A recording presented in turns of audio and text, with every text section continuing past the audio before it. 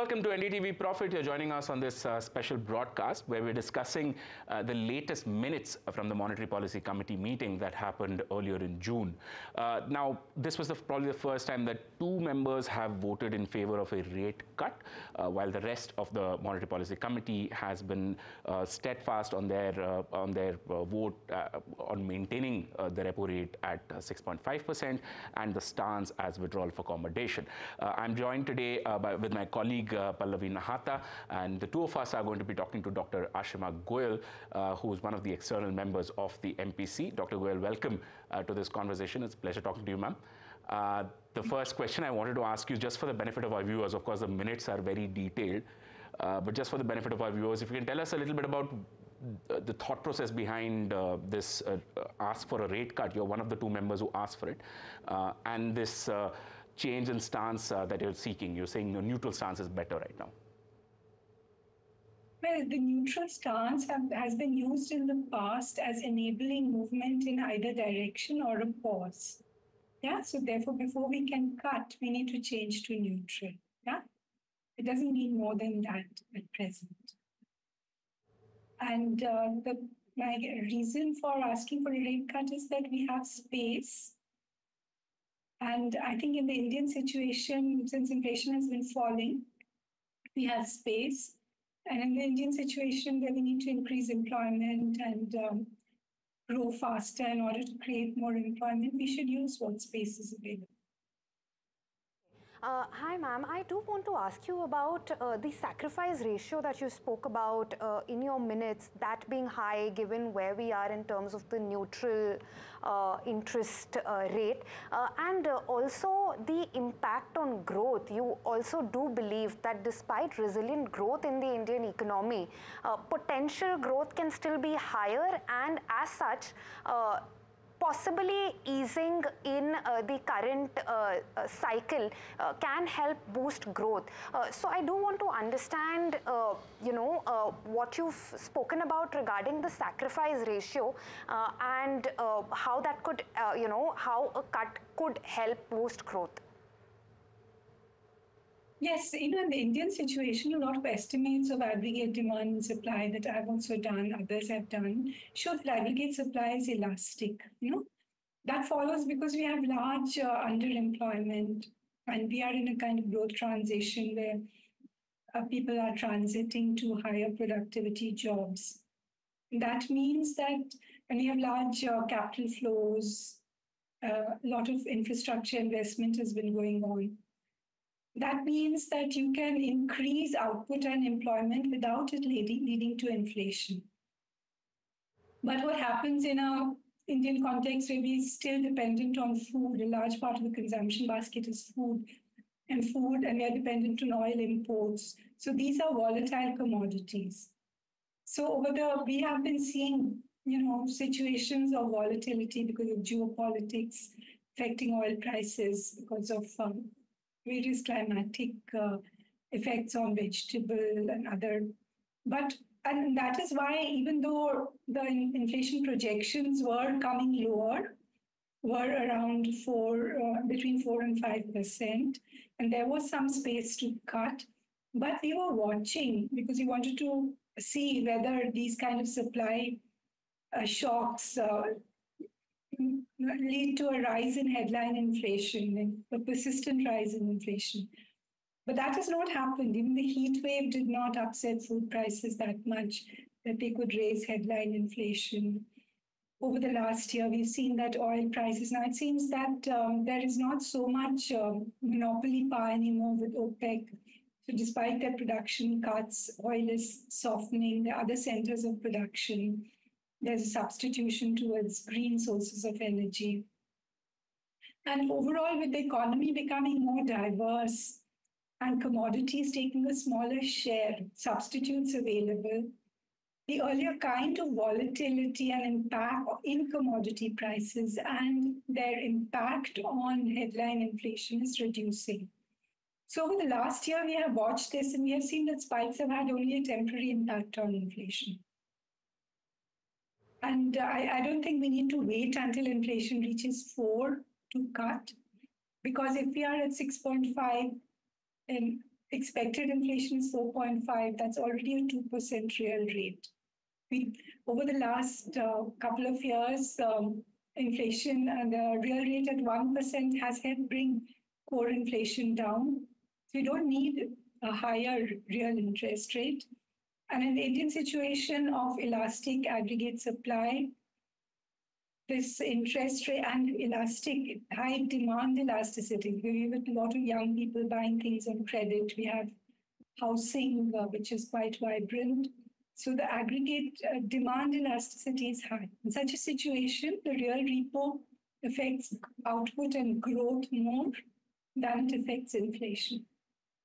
Right. Uh, Dr. Goyal, one of the arguments placed by, uh, you know, uh, one of your fellow members uh, of this MPC was that this this uh, real rate uh, sort of increase because of a drop in inflation or a temporary drop in inflation, uh, it doesn't really mean much in the long term. how, how do you tackle that issue? See, the dip we are seeing, inflation is probably falling to around 3%. And that's a transient, and then after that, it starts to rise again. But this is a base effect. You know, so if you ignore that dip, overall the trajectory is downward, the slow downwards trajectory. So any temporary uh, change, or, you know, fall and then rise is only due to base effects. Momentum, which is more important, which is month-on-month change, continues to be continues to reduce. Okay, uh, ma'am, I do want to ask you about, you know, uh, there's been, especially post the last MPC meeting, uh, there's been a fair bit of speculation on whether uh, India's central bank can possibly uh, move before the Fed does in terms of cutting rates. Uh, and uh, while the central bank has uh, continuously maintained uh, that their decisions and the MPC's decisions are led primarily by domestic developments, uh, how do you view the possibility and the chances of the MPC uh, possibly cutting rates before the Fed does? I think the MPC, we have been communicating over uh, many months that um, we have independence from the Fed. Know, the inflation differentials are falling. Our debt flows, which are interest sensitive, are capped at 6% of the market and currently of the market turnover, and currently they're much lower right? So interest sensitive uh, flows are very low. Now, for equity flows which dominate cross border flows, they do return to the US when Fed rates rise because they get risk free higher rates by investing in US treasuries. But they do not come here to invest in government debt. So raising interest rates is not going to keep them here. Raising interest rates tends to lower equity prices. Yeah. And, and uh, a, a vibrant equity market and high growth prospects is what attracts them here. So the Indian conditions are different. We are not so sensitive to the interest differential. In Europe, they are. Japan is so. In Japan, but even then, the central banks are moving very differently from the US Fed because they have other buffers. They, they allow their exchange rates to move. We have very large reserves. And in emerging markets, uh, you can have too much volatility in exchange rates if you let them take the whole shock.